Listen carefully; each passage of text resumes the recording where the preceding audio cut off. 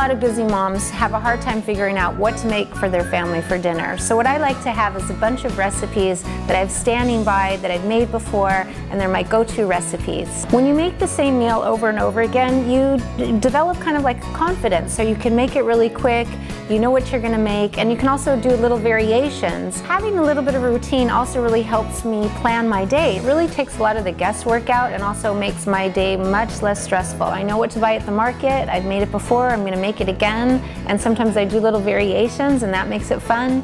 And then I put it out on the table and it's not like, what is this? We, you know, we've never seen this before. The kids know what it is and my husband likes it and that makes it really cool.